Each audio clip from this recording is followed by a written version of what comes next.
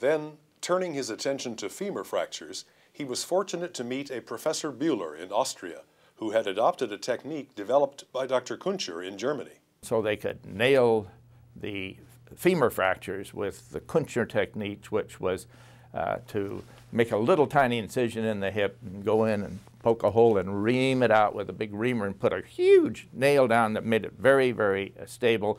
And they would do that very shortly after they, they came to the trauma hospital.